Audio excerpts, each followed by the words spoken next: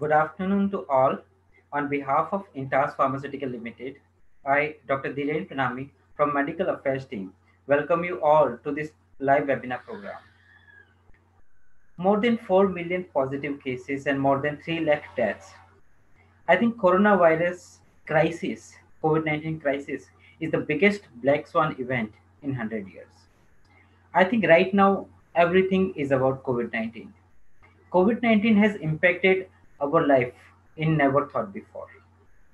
And it has also impacted how physicians treat patients and how surgeons perform surgery.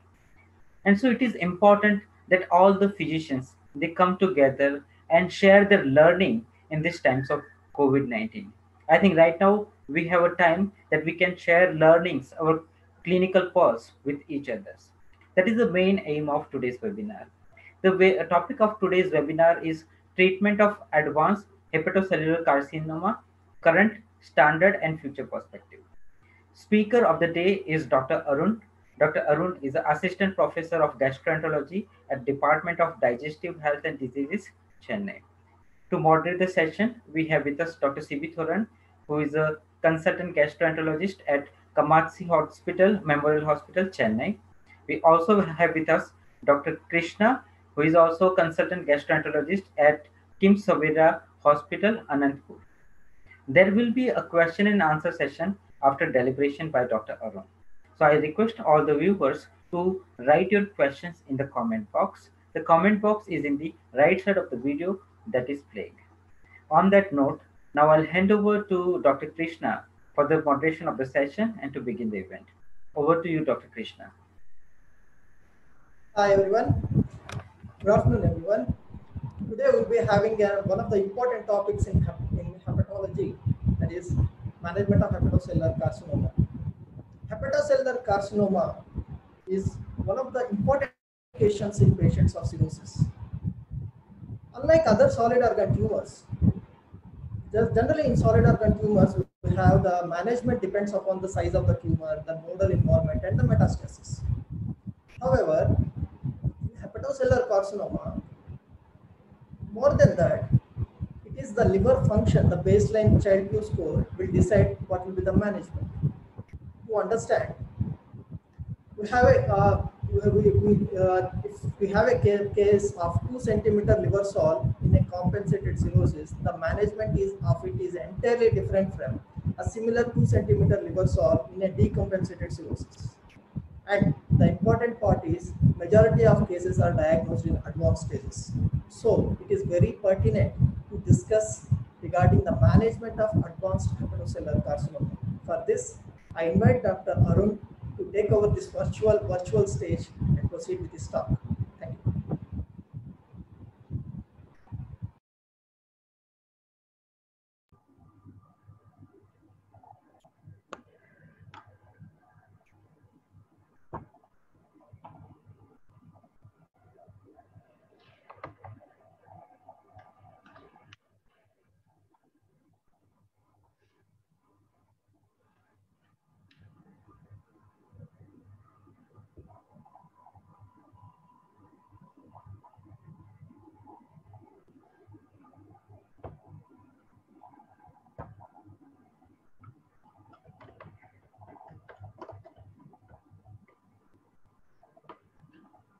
Good afternoon, respected professors, senior consultants, and my dear friends. It's once again an immense pleasure for me to meet you all in this, even in this COVID era, uh, even with your busy practice, even with your multiple uh, issues is being happening in the COVID era. So we are here to discuss something about advances in hepatocellular carcinoma, the current standards and future. And without the moderators, uh, this session is to be a complete one. I would like to thank uh, Dr. Krishna. Also, I would like to thank Dr. Sibi Thoran, who is being a, who is going to play the main key role for the discussion right now. Also, I would like to thank all the organizers who are being involved involved in us to discuss an area which is none other than hepatocellular carcinoma. So what I'm going to discuss right now, we are going to discuss the part of advances in hepatocellular carcinoma, I mean advanced HCC, what is the current standard and future. So what do you mean by this advanced hepatocellular carcinoma? As you are well aware, if the patient presents to us with the BCLC, which is nothing but Barcelona clinic liver staging system, So if you are, if the patient presents, to us with BCLC staging C, which means if the patient is having major vascular invasion along with a extra hepatic metastasis, there is a high progression for the patient to go for advanced, in which none of the therapy, even resection or transplantation, will not be helpful for that kind of presentation. What we are going to do, it's, uh, what we have been defined as advanced hepatocellular carcinoma. Once a patient being present to us with advanced hepatocellular carcinoma, how are you going to tackle that? How are you going to manage? And before starting, I would like to do, uh, consider with you all a brief discussion about hepatocellular. It is nothing but the third most common uh, cancer and the second most common cancer liver related um, for the liver related deaths. And apart from that, and more than 90% of the liver related deaths is mainly because of the hepatocellular carcinoma among the cancer, cancer guidelines. And next to that, the incidence of uh, uh, hepatocellular carcinoma among males and females will be slightly preponderant in male. And the rate of progression of cirrhosis in uh, uh, cirrhosis to hepatocellular carcinoma in India, it is almost 1.6 percentage per year as per the multiple guidelines. So why do you want to insist on all those things? Because there are so much of etiologies for hepatocellular carcinoma and major common etiologies will be hepatitis B, hepatitis C, and aflatoxin and other things will be involved. Even alcohol will be considered as a co-carcinogen to be involved in the hepatocellular carcinoma. And even if a patient develops advanced hepatocellular carcinoma, there are multiple regimens, chemotherapeutic regimens, various drugs are being tried for which we are going to discuss right now. So it's one of the highest incidents in Asia and Southern Africa. So more than 30 per 1 lakh population have been proven and intermediate incidence in the US, Northern Canada and part of Europe has been, and it will be approximately 3 to 30 uh, per 1 lakh population has been proven. So this is a basic algorithm. As we all know that regarding hepatocellular carcinoma to be discussed, there are multiple staging systems being existing. So among that, the one which we are going to use very frequently is, is nothing but a BCLC. And apart from that, there are many stagings are there, like Okuda, I mean, Japanese clinical staging and American society classification, CLIP staging, multiple stages. CLIP staging is mainly based upon your Child-Pugh score and uh, Okuda staging is mainly because of, based upon the tumor size, the albumin and other thing, other parameters can be taken into account if you are going for Okuda and other classification. So basically, if you're going to think about the BCLC, so you'll be categorized based upon the stage of the tumor, and how about the liver function? See, in advanced hepatocellular carcinoma, once a portal vessel, once a major vessel be involved, along with the extrahepatic metastasis, but the liver function and the performance still be well retained for most of the patient. So once the liver function is preserved, and if the performance, look for the performance status and look for the tumor burden. Based upon that, the BCLC staging is being in use. And we'll be categorizing that very early, early, intermediate, advanced, and terminal stage. So what is it very early? So based upon the performance and ECOG, I mean, it's a, a Eastern Control, uh, Eastern Cooperative Oncology Group Society, based upon the performance status, which means uh, they'll be having on four, I mean, uh, on four performance status will be there. So if the patient is mildly restrained and to the severe restraint and we couldn't be able to do any other activities. So based upon the performance status, and based upon the solidarity, when, when the nodule, based upon the liver size, based upon your SOA lesion size. So if the liver, the, the lesion size, if it is less than two centimeters, so we will be either go for resection or we may try for ablation of the tumor. And if the suppose in the early stage, either we will go for transplant or we may go for ablation. The early stage means the preserved function is still there. And if it is a solitary nodule, or if the two or three nodules, if it is going to be there, which is size is going to less than three centimeters. And once a patient has been progressed to intermediate stage, it means a multinodularity, and there is high possibility we need to go for TACE at her. So TACE is transarterial chemoembolization can be used. And this is one trial, one thing which we are going to discuss because advanced stages of tumors, we can combine a TACE at along with a systemic therapy. There are so many trials being going on the field, but the beneficial effect once a patient entered into the advanced stage, uh, whether the combination therapy is validated or not is still a major questionable issue. And if the patient is progressing to advanced stage means, I mean ECOG, the performance status is slightly going to come down, the basal liver function is still there, and the macrovascular invasion will be there, and extrahepatic spread could be a possibility. So once a patient enters into the advanced stage, there are multiple modalities of treatment. The first line will always, as we are well aware, and most of the centers in India will be using this drug. And without this, this drug, the regimen will not be happening. And sorafenib, and there are other trials is going for lenvatinib, and and the second line drugs like regorafenib, cabazitaxel, and uh, uh, and many other drugs are being tried.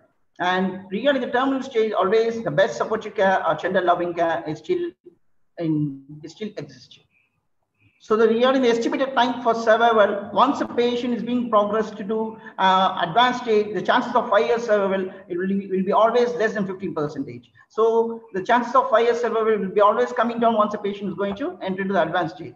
So what are the various challenges we are going to face? So this is the competing cause of death. So because whether we are not very sure whether to see among hepatocellular carcinoma, we need to divide it is because of cirrhotic or because of non-cirrhotic, as what Dr. Krishna has said before. So if it is because of cirrhotic, the possibility of hepatocellular carcinoma uh, in a cirrhotic background is around 80 to 90 percentage. So we need to see the competing cause with the cirrhosis versus SCC and we couldn't able to predict the function because the metabolism will be larger once it start once the tumor because of multiple etiologies. And next to that the inherent drug resistance. Suppose we are going to put a patient with a drug whether the patient is going to respond how about the function of the liver whether it is there or not based upon that there are so much challenges when you're going to put a patient uh, with a drug. And heterogeneous pattern, uh, heterogeneous pattern of disease. Always you should remember hepatocellular carcinoma is unique and heterogeneous in various presentation and difficult to get human specimen most of the time. So if you're planning to treat a patient with HCC, it is always a multidisciplinary approach. The multiple teams are going to involve as a surgical gastro, medical gastro, hepat and tumor registry, oncologist, radiation oncologist, everyone is going to involve in the management protocol. And next to that, so what are all the various options being available? Now, I'm not going to discuss anything else apart from the advanced unresectable hepatocellular carcinoma, the various chemotherapeutic regimens, what we are going to use, what we are going to try. And the first line of therapy, as we all know that the SHARP trial, it's a sorafenib in advanced hepatocellular carcinoma, randomized protocol study. So based upon that, so always we are going to consider sorafenib as a first line of therapy. Is a, but the one thing always in advanced stage, the Child-Pugh B, we are still considering sorafenib, but there are some trials being using even for child, I mean Child-Pugh A, it's the main, main modality to be considered. And even for some patients with Child-Pugh B, we can also consider. And the other modalities like lenvatinib is still more consistent. And uh, right now, along with sorafenib, there are many centers being trying with uh, lenvatinib also, and the overall survival with lenvatinib is slightly good when compared to sorafenib. Nowadays, there are much many trials have been there, and those things I'll be uh, discussing uh, in my further slides.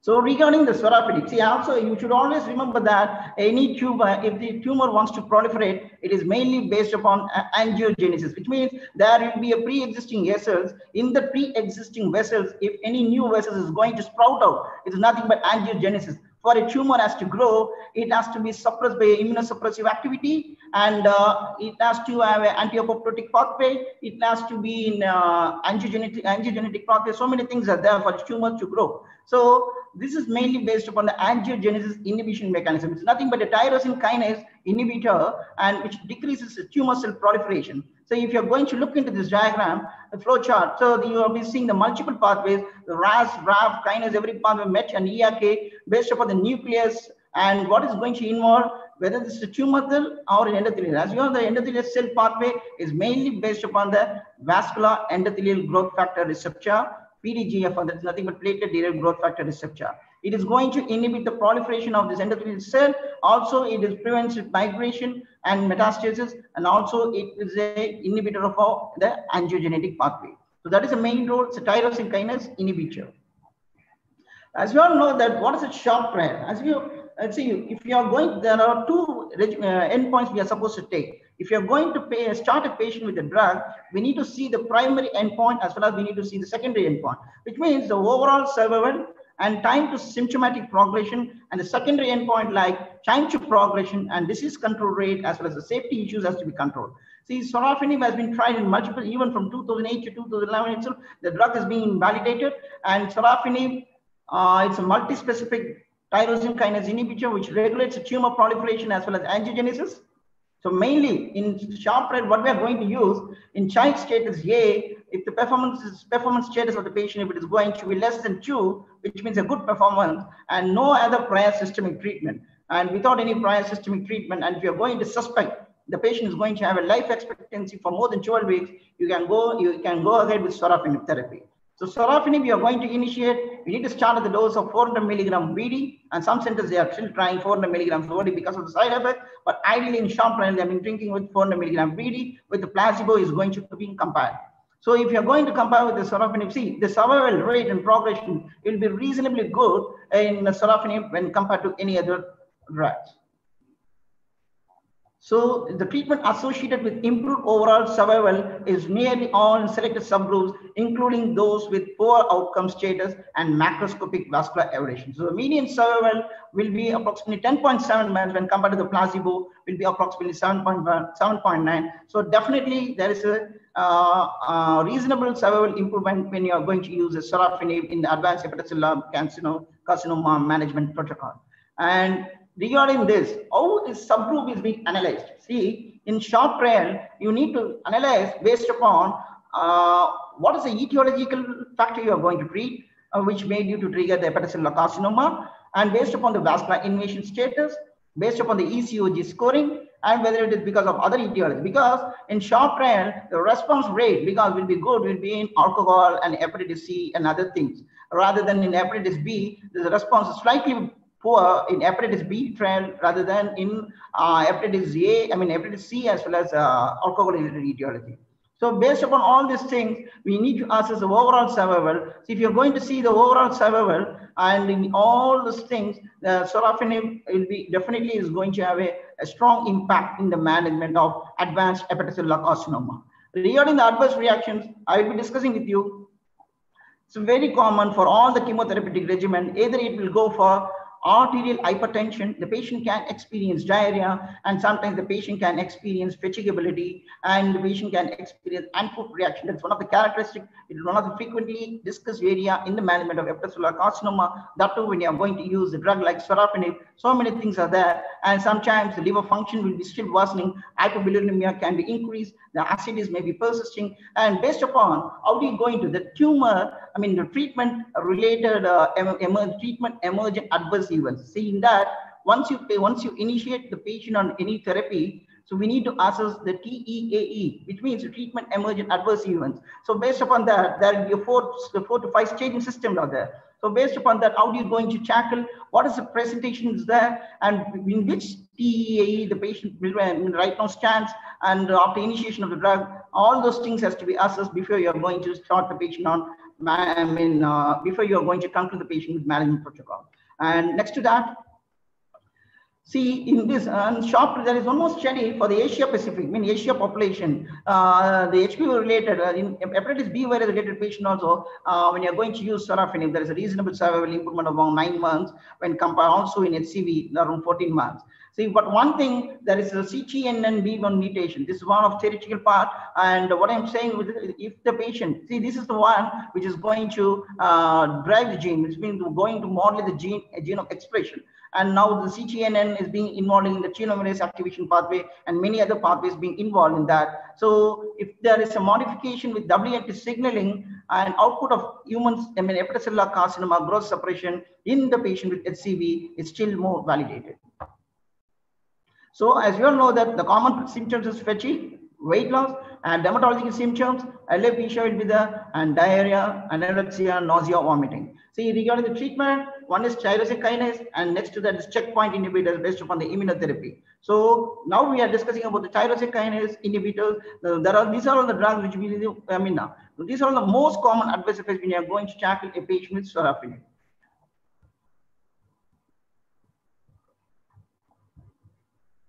So how are you going to manage this hand-foot skin reaction? So if it is usually a hyperkeratosis and skin inflammatory pathology, and you will be using a topical emollients like urea, ammonium containing lactate or salicylic acid. And sometimes the topical steroids will be useful if the inflammation is still high. And if it is intolerable, we need to withhold uh, uh, sorafenib for some days, at least approximately seven days until symptom improve. Or else after that, we can restart the therapy at a lower dose uh, in case of HFR if the patient is going to develop and you're going to initiate with sorafenib.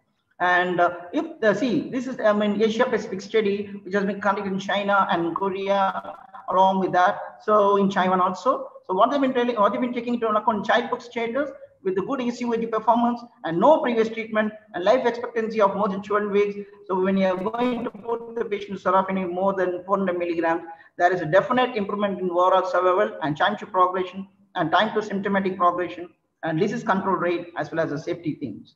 And uh, so this is what we have been discussed, the shorter survival duration than the control group in the SHARP trial and in Asia study, 73% of the people were predominantly HBV positive. So overall from 2007 to 2017, the overall I mean, sorafenib outcomes will be, a, will be reasonably good uh, in Asian patients as well as in Western patients. So this is a global prospective study in sorafenib. This is Gideon. Why we are being going to use this Gideon study is nothing but suppose you are there are multiple trials been happening for only child status E. What do you mean by child status?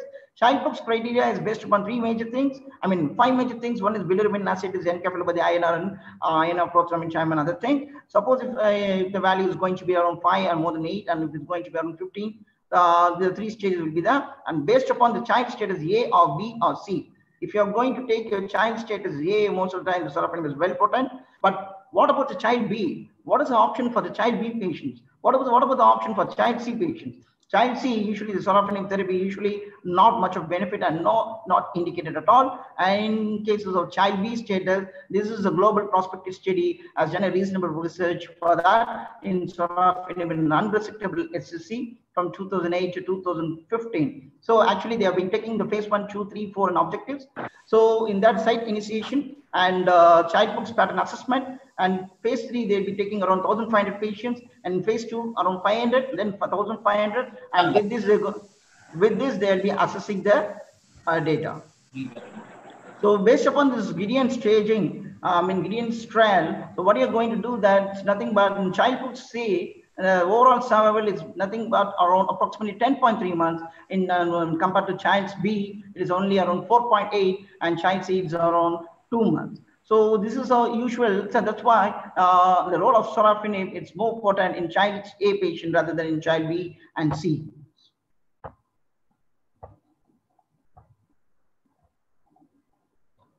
So this is another thing based upon the treatment emergent adverse events. See, when you're going to look for uh, if you're going to see there's a serious adverse reactions will be more common when you're going to initiate the patient with sorafenib will be more in child B status rather than in child A and uh, uh, the normal patients.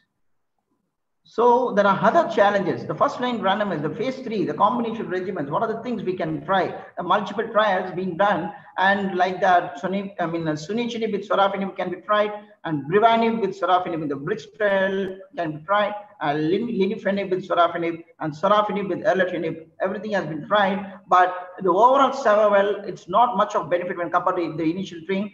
Uh, suppose if you're going to sunit, I mean, sunitinib, the overall survival will be less when compared to sorafenib and brivanib, that is also less, and linifanib will be also less, and sorafenib plus erlotinib will be having a slightly more progression but uh, of survival, but the overall beneficial effect, the time to progression of events is still more questionable when you're going. What about the doxorubicin? There are multiple single dose regimens are there, like doxorubicin, oxaliplatin, so many drugs are being in single dose regimen be tried in the management of hepatocellular carcinoma, but the beneficial effects, it's still a questionable issue. But the overall survival, when you're going to combine a doxorubicin with sorafenib or isolated sorafenib, so isolated sorafenib management is slightly more potent than a doxorubicin based trials.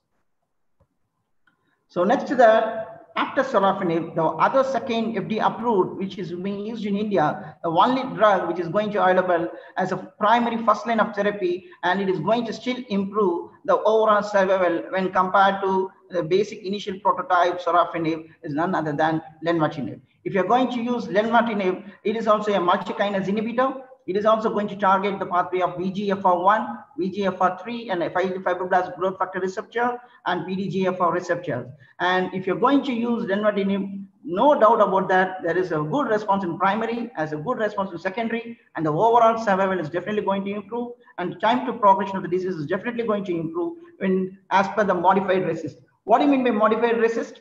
So uh, it means it means evaluation of the solid tumor. So if you're going to evaluate in a solid tumor, there is a significant endpoint, I mean, significant progression to survival when you're going to use uh, lenvatinib. So there's a beautiful trial for lenvatinib, none other than the reflect trial. If you're going to use reflect in reflect trial, there is a being targeting a adult patient with unresectable HCC and no prior systemic therapy and child status A and BCLC either B or C can be taken into account.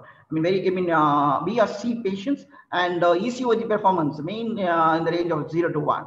So if you are going to put the patient with lenvatinib, so dose of lenvatinib is if the patient is less than 60 kg, we can use approximately 8 milligram. If the patient is more than 60 kg, we can go for uh, 12 milligrams of lenvatinib. If you're going to target lenvatinib, if you're going to use lenvatinib, it's a multi-target, and as I told you, and the primary endpoints and the secondary endpoints are definitely going to improve with the reflect study. See, in this, if you're just assessing that the overall survival when compared to the sorafenib, it is almost up to 13.6 when compared to sorafenib, which is almost only uh, 12.3. So these are the common adverse effects. So nothing much to discuss. The same thing as hand-foot screen, hypertension, diarrhea, appetite alteration, and weight loss, fatigability, alopecia. And proteinuria is one more important entity. Around 20% of the patient, when the patient is going to subject with uh, lenvatinib, there is possibility of proteinuria. And dysphonia also cases reported around 10 to 15% of the patient. Dysphonia has also case reports are there. So nausea can be there for most of the them. And so what are the other molecules being in trial? So the, the key phase three trials assessing emergent agents for regimen for first line therapy. So what are the other drugs like nivolumab and girarlimab plus tremelimumab? These are all the anti-PDL. That means any programmed cell death apoptosis being based on anti-PD-L1 and anti-CL-TTL4 antibodies. These are all the drugs being tried. And uh, apart from that, atezolizumab and bevacizumab also being in trial. But the as for now, nivolumab, there are much studies being there, and nivolumab, some I mean, uh, it's being available in US uh, and in India. Uh, not much of centers are being experiencing that. And durvalumab and tremelimumab, and uh, these are still in trials in Himalaya. Himalayan trials going on for nivolumab checkmate trials, and for atezolizumab and bevacizumab is IMbrave trial. So what are the first line combination? That's nothing but GoNext trial. See, if it has been assessed in a population of around 95 people, in that they have been combining gemcitabine with oxaliplatin with sorafenib. So gemox with sorafenib. So what have been uh, analyzing that, the slightly overall improvement, the progression-free survival rate, it's more, it will be around 60 percentage when compared to 54 in the sorafenib monotherapy. So, and GoNext trial is still slightly in the higher potent, but uh, whether it is validated or not, it's still a questionable thing. what are the other second line therapy which is being available is not, I mean, like uh, cabazitaxel, I mean, cabozantinib and sorafenib, and I mean, other drugs like uh, ramucirumab, nivolumab, uh, pembrolizumab, multiple drugs are there. For cabozantinib, what is the trial is Celestial. For ramucirumab is reached 2 and for nivolumab is checkmate 40, and for pembrolizumab is keynote 224.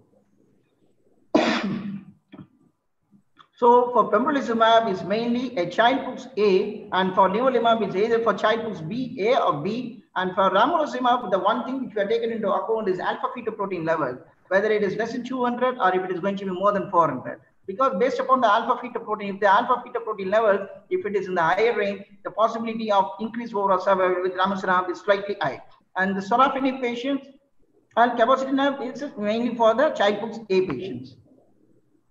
So, uh, what is this molecular difference for sorafenib? That is also a tyrosine, I mean, uh, for versus regorafenib. It's also a tyrosine kinase inhibitor, but it will be acting on multi-kinase pathway, uh, VEGFR, c-KIT, and uh, TAE and PDGFR and multiple pathways being involved. And there are two major metabolites like M2 and M5 in which uh, regorafenib. See, if you're going to take regorafenib, regorafenib, there are four major mechanisms. One is it will be a anti-immunosuppressive and it will be a anti-proliferative and next to that it will be anti-apoptotic and fourth one is anti-angiogenesis. Anti-angiogenesis means it is going to I mean, involved in the pathway of vascular endothelial growth factor. And, uh, and apart from that, anti-immunosuppressive means immunosuppressive, uh, that means the tumor growth effects, and uh, that will be suppressed. Uh, next to that, anti-proliferative and anti-apoptotic. Anti-apoptotic pathways like BCL, APAX, all those things is going to be suppressed. So in, in the, it will be acting on all these four pathways regorafenib. So for assessing the efficacy of regorafenib, uh, RESORCE trial is being used. See the dose being tried for regorafenib is 160 milligrams per oral QD. And when we see, when you're going to see, this is second line therapy, suppose if you are going to use uh, sorafenib for the initial, term, I mean, uh, if the patient is not going to respond or the worsening of symptoms, and uh, usually it will be thinking in terms of after 20 days of initiation of sorafenib over the 28 days duration period. So if it is not going to respond, then we can consider the patient for regorafenib and other things. So patient with advanced hepatocellular carcinoma who tolerated well with the first line sorafenib but progressed uh, with the BCLC, I mean, who is just progressing with the disease. And if the patient is having, I mean, ECO uh, performance status, if it is less than two, and BCLC either B or C, and Child-Pugh A will be taken into account. So 160 milligrams QD uh, usually be trying until the uh, I mean, uh, unacceptable, acceptable toxicity or a progression of disease uh, being enrolled. We need to continue the therapy. And uh, the primary endpoints as well as secondary endpoints will be assessed. And the RESORCE trial, what they are mentioning about uh, the overall survival is 10.6 and uh, when compared to survival, I mean, first line therapy and the median progression free survival is around 3.1 when compared to 1.5 in the first line therapy. So these are the common adverse effects. Uh, as we all know that the common things for tyrosine kinase inhibitor, the same one, and uh, hand-foot skin reactions, diarrhea, fatigue, hypertension. So if you're going to think about uh, this, uh, I mean, uh, uh, the hypertension will be slightly more, as well as the food skin reaction will be slightly more, and uh, the other effects like uh, ascites and anemia formation and abdominal pain will be slightly less when you're going to use uh, regorafenib. So next line of molecule which has been tried is cabozantinib. So if you're going to use cabozantinib, it's based upon the celestial trial. So in that also, the common adverse effects will be a palmoplantar, I mean, hand-foot reaction, diarrhea, fatigability, everything. But cabozantinib, the diarrhea and decreased appetite will be in slightly higher preponderance when compared to hypertension and vomiting will be slightly in lower preponderance. And so what is a celestial trial? In being assessing cabozantinib for the previously treated. As I told you, once a patient be initiated with sorafenib, if the patient is not going to respond and the patient is being previously treated patients, so if the patient has signs of further worsening, so we need to add cabozantinib can be tried. So the one good thing about cabozantinib, it will be preventing the metastatic pathway. So it will be going to involve the MET, MET gene, MET oncogene pathway. It is going to involve as well as the AXL pathway is going to be involved and in advanced hepatocellular carcinoma who experience progression of disease after initiation of sorafenib. So if the patient, so the dose of sorafenib can, I mean, uh, cabozantinib can be tried is approximately 60 milligrams per oral QD until the benefits is going to exert, until there's a progression of disease and the primary and secondary endpoints you being assessed. Uh, in the survival, in the celestial trial, what are the mentioned compared to the placebo, the median overall survival is slightly high and the progression-free survival is also high and compared to the uh, placebo. So cabozantinib is being validated now. So what is the next line of molecule we can consider is ramucirumab. Ramucirumab is based upon, based upon the REACH2 trial. In, in this study, what has been taken into account is the alpha fetoprotein levels of more than 400 nanograms. So mainly why they are taking alpha fetoprotein because in these patients in the advanced SCC, if the AFP it is going to be more, the BCLC, BRC, and Child-Pugh A, and the ECOG criteria if it is one, if you're going to put the patient with ramucirumab, uh, along with uh, best supportive care and in placebo support arm, if you're going to see at the rate of 8 mg per kg, if you're going to switch over the patient with ramucirumab, that is uh, the primary endpoints, of overall survival will be uh, reasonably good. See, if you're going to see ramucirumab arm, in this case, it will be around 8.5 months of survival and compared to the median overall survival, also progression-free survival will also be slightly high in 2.8 months and compared to the placebo.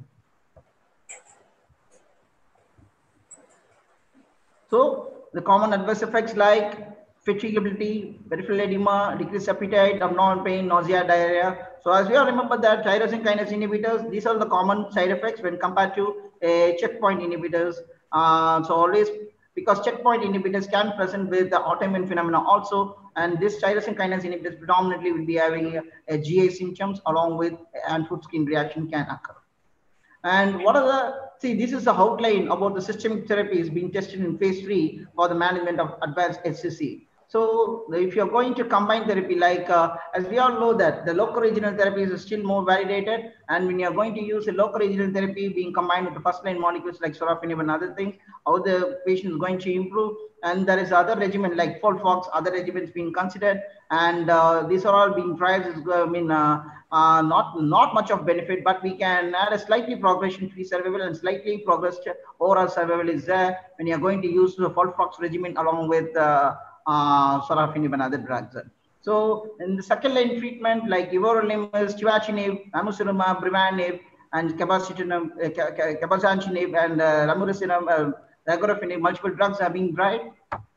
And next to that, what is this uh, nivolumab? So as we all know that uh, nivolumab is a checkmate for 40 in being advanced trial. It's a checkmate inhibitors, which means it is going to act on anti-PD-1 pathway. It's a pro progression of, uh, I mean, uh, uh, progression to cell death receptor apoptotic pathway. It is going to involve. So when you are going to use nivolumab at the rate of 0.1 mg per kg, See, I would like to insist on that. Uh, if you're going to try nivolumab in hepatitis C after sorafenib is still more considered, and there are some trials being proven that. So, but the beneficial effect in hepatitis B is still a doubtful issue. But even then, we uh, in hepatitis C is slightly better when compared to hepatitis B. If you are going to use nivolumab in advanced SSC, and uh, uh, the dose of initiation will be 0.3 mg per kg, and we are going to escalate the dose up to 1 mg per kg, and uh, slowly will be escalating up to 3 mg per kg. And we can combine nivolumab with other drug like uh, so many other drugs being tried, nivolumab, pembrolizumab, and all can be tried. But uh, the question, the benefit is still uh, uh, benefit of it is still in trials. So after that, so efficacy in dose. So if you're going to treat this uh, HCV infected and HBV infected, uh, in nivolumab, the HCV rate of improvement is slightly better when compared to the HBV infected patients. If you're going to see the overall survival in HCV infected patients will be around 85 by 81 and compared to HBV infected will be only 84 by 70. So reasonable overall survival in HCV infected and other infected patients when you're going to use nivolumab.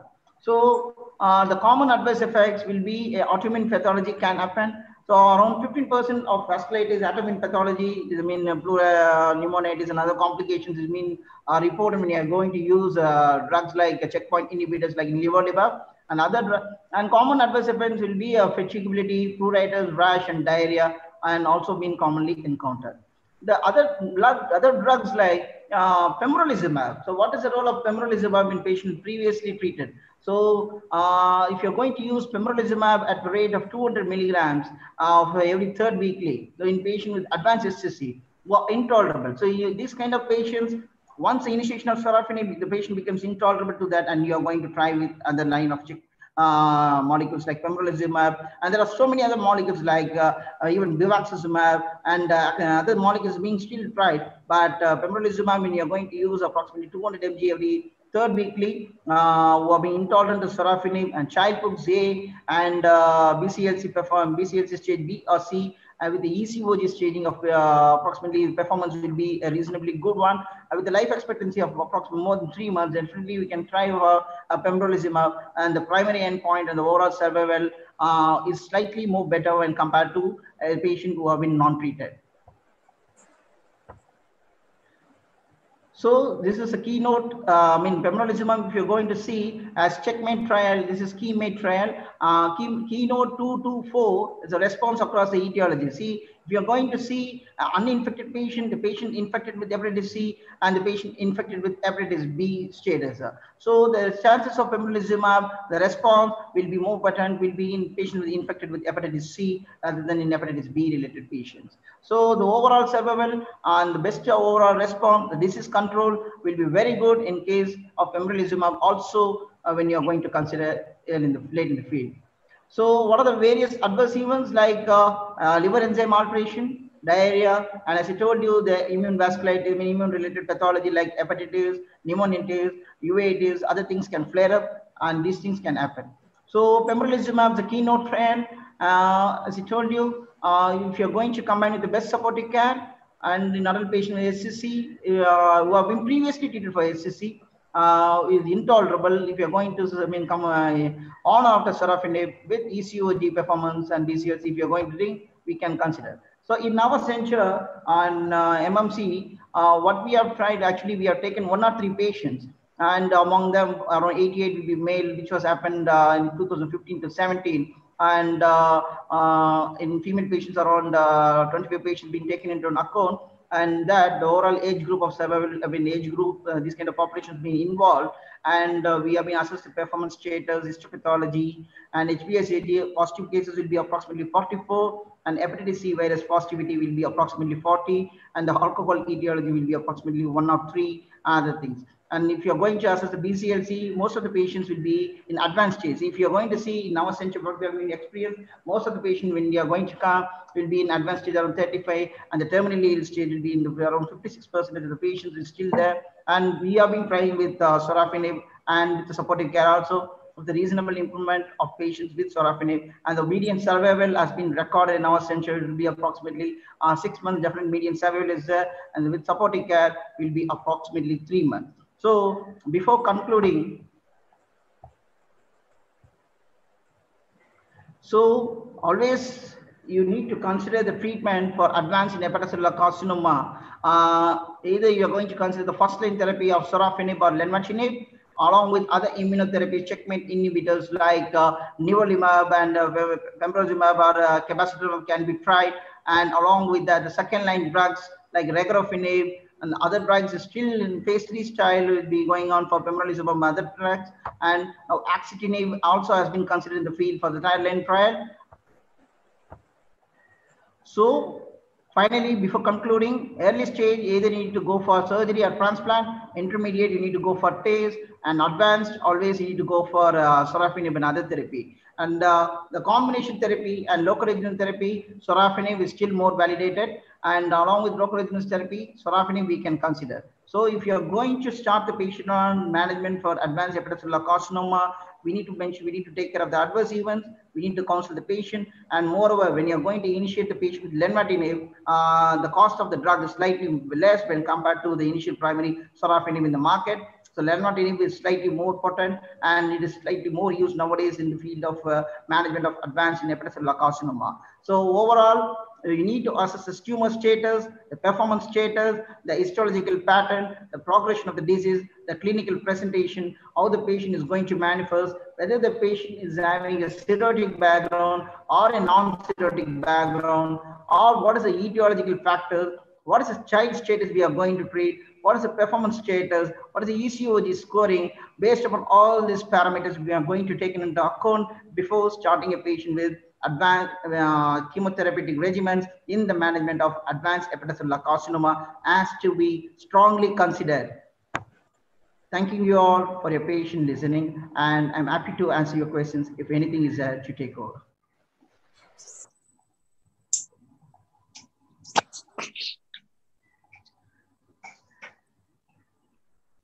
Hello, am I audible Yes. now? Yes, sir. Yes, Dr. Sibi. Yeah, that was a fantastic presentation, uh, Dr. Arun. Uh, it was a comprehensive talk on uh, every aspect of hepatocellular carcinoma, uh, including the latest uh, monoclonal antibodies that are available for the treatment. Some of the questions, um, uh, can you talk a little bit about the effect of primary disease on the prognosis of hepatocellular carcinoma? So effect of the primary disease on the prognosis of hepatocellular carcinoma, see, there are multiple trials if you're going to use. See, mainly if it is going to be the etiological factor, either it is because of alcohol or is because of hepatitis B or hepatitis C. See, if you're going to be alcohol-based etiology, the chances of progression for hepatocellular carcinoma, even if it happens, the chances of survival overall response will be around 19 to 20% when compared to hepatitis B and C, it will be around 16 to 70%. So uh, the etiological factors is being strongly considered when you are going to uh, manage a patient with hepatitis. And moreover, in non-cirrhotic background, background or even in metabolic disease background, the etiological factor in management of hepatocellular carcinoma with this, with this clinical performance status has to be taken into account when you are going to manage it. Fantastic. And the other question is, uh, what are the various markers that are used for the evaluation of angiogenesis in a patient who has hepatocellular carcinoma? And uh, is there uh, any implication of these factors on the prognosis of hepatocellular carcinoma? See, as I discussed with you, sir, the angiogenesis pathway is mainly based upon the vascular endothelial growth factors. And angiogenesis is nothing but anything which is involved in the tumor proliferation and anything which is going to involve in the sprouting of the new vessels in the existing pre and the pre-existing vessels. So there are multiple pathways, vascular endothelial, platelet derived and multiple fibroblast growth factor. Many multiple factors are being involved in angiogenesis. Among that, the quantification is still more going for. Uh, see, we should remember that there are some anti-angiogenesis factor, factor also, like I mean, endostatin, angiostatin. So many things are being there, and, uh, and the constituents. What we are going to angiogenesis factor like COX, I mean COX, uh, CO, COX2 levels, and vascular endothelial growth factors, along with CD31 and. Uh, uh, CD105, other things have been still tried. If you're going to use uh, the markers, the biomarkers can be considered. As we all know that not only uh, the biomarker for hepatocellular carcinoma, the angiogenesis proliferation, the autoantibodies assessment is still more validated when you're going to initiate the treatment protocol guidelines. Fantastic. And the other question is, what is the impact of the levels of alpha fetoprotein on the treatment efficacy? As I told you when you're discussing with the trial of REACH, the ramucirumab, if you're going to use, uh, I mean, if uh, alpha fetoprotein levels, if it is going to be more than 400, there is a slightly a more response. And when compared to sorafenib, the overall response and overall survival uh, if the alpha fetoprotein levels is going to be high, it's slightly uh, less in sharp trial uh, when compared to the trial of REACH when you're going to use uh, regorafenib. So alpha fetoprotein definitely is having a good uh, response outcome. And we need to assess uh, the alpha fetoprotein levels. And we need to see the tumor doubling time. And based upon that we need to manage the patient. And uh, uh how long I mean the survival rate uh, the overall survival if the alpha fetoprotein is high means we, in, the, in the case of sorafenib arm it will be around three to six months and if the patient alpha fetoprotein level is low will be more than six months in the case of sorafenib trial and arm also in the Asia Pacific trial. Fantastic. Um, if the other question is uh, um, uh, treatment efficacy in cases of macrovascular invasion and then um, metastatic diseases, macrovascular in invasion specifically. So if the patient presents to us with evidence of macrovascular invasion and evidence of metastatic disease, the possibility of treatment efficacy in advanced hepatocellular carcinoma definitely will be less. But when you're going to use sorafenib, uh, the response rate uh, when compared, if the patient doesn't present you with a macrovascular invasion means the chances of survival will be approximately around uh, 15 to 18 months. But if the patient presents you with evidence of macrovascular invasion, the chances of survival definitely is going to come down for around 9 to 10 months. So chances of survival, overall survival and chances of time to progression of the disease based upon two major entities and one is by vascular invasion and one is by the extrahepatic metastasis. So uh, and also when we are going to take lenvatinib and other molecules, uh, if you're going to see the macrovascular invasion, the chances of survival will also be less when you're going to use lenvatinib and other drugs in the field. Okay, and the next question is, uh, specific treatment options in cases of hepatocellular carcinoma, especially in case of advanced hepatocellular carcinoma with respect to hepatitis B and hepatitis C viruses. Can you comment on these two specific uh, uh, cases which we are uh, more commonly to see in our clinical practice? So as I told you, sir, the common etiology for any hepatocellular carcinoma to happen is hepatitis B, C, alcohol, and other things to be considered.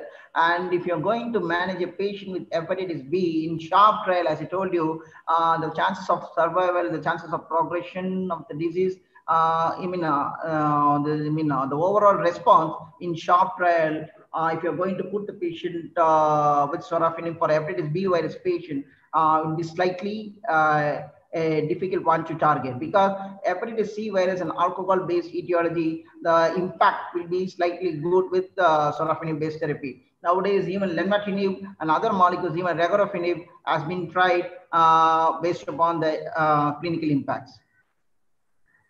Okay. And uh, what are the common adverse effects that we are to see with uh, all these drugs which are used to treat advanced hepatocellular carcinoma? So when you're using, as I told you, always we need to divide the adverse reactions, any adverse reaction, whether we need to see whether it's a early adverse, early reaction or whether it is a late reaction.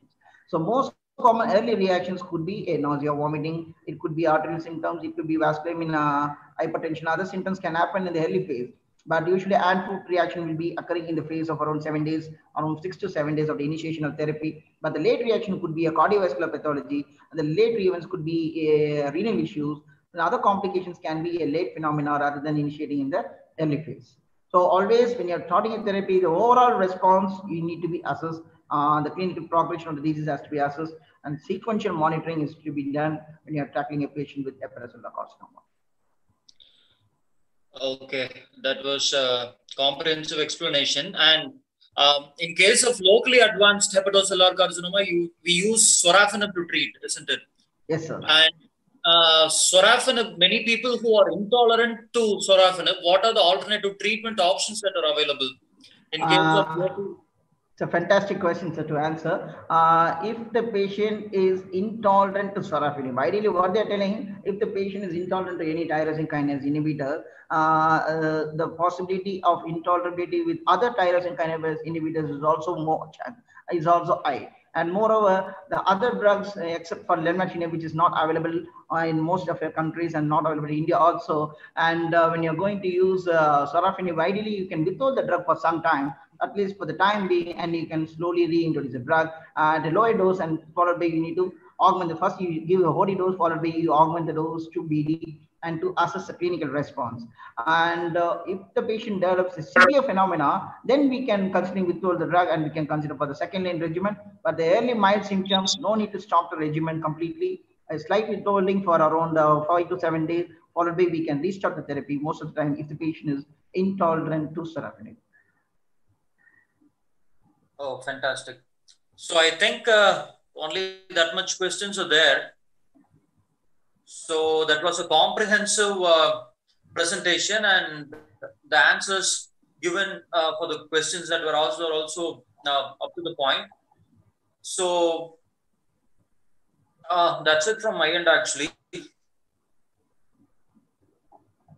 And uh, before concluding, I would like to say only one thing. When you're going to use local regional therapy like hepatic artery infusion, I mean, uh, HAIZ infusion therapy, when you're going to use chance and tear regimen, and there are multiple trials is going on for uh, sorafenib along with lenvatinib and other drugs is being compared. So local regional therapy, mainly we need to consider for a patient who doesn't have any metastatic, who is having evidence of vascular invasion, uh, I mean, without any metastasis has to be done. So only for that kind of patients, we'll be considering local regional therapy. So local regional therapy, I didn't discuss separately because that's a separate entity to be discussed in the protocol of management of hepatocellular carcinoma. But still more trials being combined when you are going to use in the management of HCC in advanced HCC along with the sorafenib and other molecules. And uh, anything else, sir? Was a very fantastic talk, Dr. Arun. Uh, and even the way you handled that rapid fire questions is also very commendable. Uh, Thank you, Good sir. job, sir. Good job. Thank you. Over Thank you, sir. So, uh, yeah, uh, I really appreciate uh, Dr. Arun's effort. It was a, indeed a lucid and in detail presentation regarding management of advanced hepatocellular carcinoma. Uh, I also thank uh, Dr. Sibi Thoran and Dr. Krishna for moderating the session. Uh, I also would like to thank all the clinicians who are watching this program live. Uh, thank you for sparing your valuable time. Uh, I hope you, all of you have liked, liked this program. If you like this program, please let us know in the comment box. Uh, this is the end of this webinar. Uh, thank you once again and have a good day. Thank you, sir. Thank you. Thank you. Thank you all.